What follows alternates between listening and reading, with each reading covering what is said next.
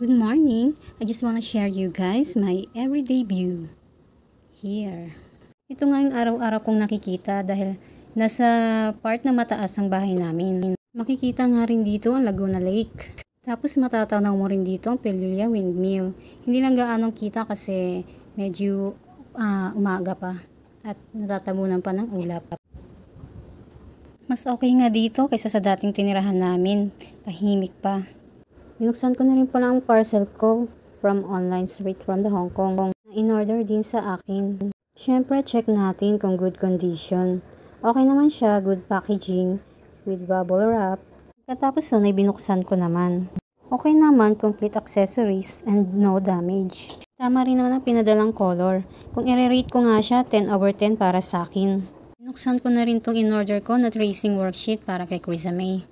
Naisip ko nga mag-order nito para makapag-practice na siyang magsulat.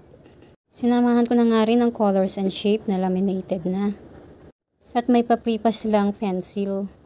May pagpipilian ka nga rin pala na cover team at Minnie Mouse ang napili ko. Tapos 70 sheets na siya. Kasama na rito ang tracing shapes, letters, numbers, and name ng bata na pwede lang pagpraktisan. Pagkatapos nun ay nagluto naman ako ng pancake. Meron siyang 2 packs and 2 maple syrup sa 480 grams. 1 pack lang ang lulutuin ko kaya tinago ko na rin ang isa.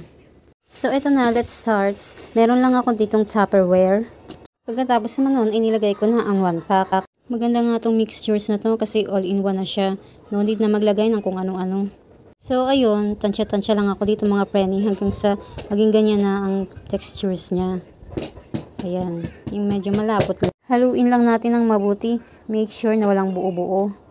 So ayun, nagpainit na ako ng kawali at nilagyan ko na rin ng konting butter para hindi siya madikit.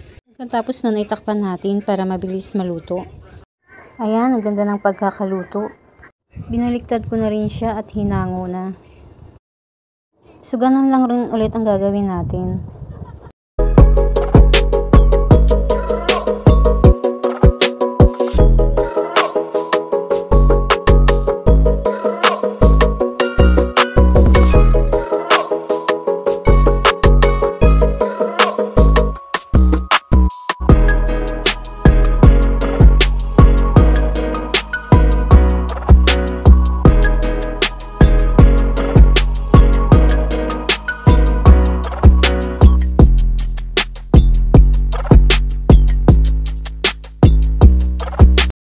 So, ito na ang finished product natin. Four pancakes lang ang nagawa ko. Tapos, masarap nga ito with coffee. So, yun lamang mga friends. Salamat!